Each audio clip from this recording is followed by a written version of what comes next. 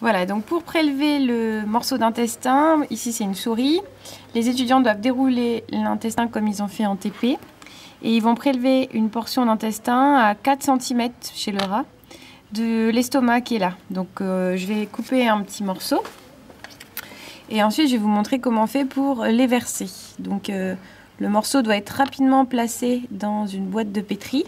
Donc euh, je vais prendre un morceau comme ça, c'est même un peu grand mais je le couperai si besoin. Donc ici, ils auront euh, deux morceaux pour faire les deux boudins témoins et dans une autre boîte de pétri, deux morceaux pour faire les deux boudins, les deux boudins avec leurs conditions expérimentales.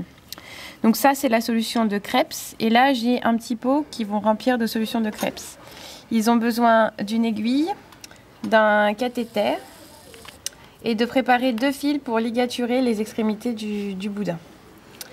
Donc la première chose, ça va être de retourner, de retourner le tube digestif. Vas-y.